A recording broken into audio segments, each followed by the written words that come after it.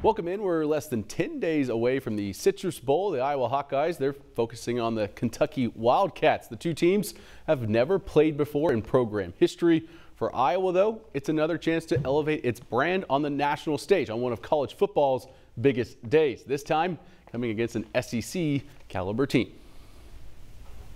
What Mark has done at Kentucky, uh, A, is very impressive because if you look historically at that program, you'd have to go back a ways to find somebody that's had that kind of consistency with the level of performance that they've been at uh, in a tough conference. So that, that speaks a lot about him. We're going to have to work for it. It's not going to be certainly not going to be easy. But um, at the end of the day, it starts right now with our preparation. Kentucky's a pretty good squad, and they're a lot like us, honestly.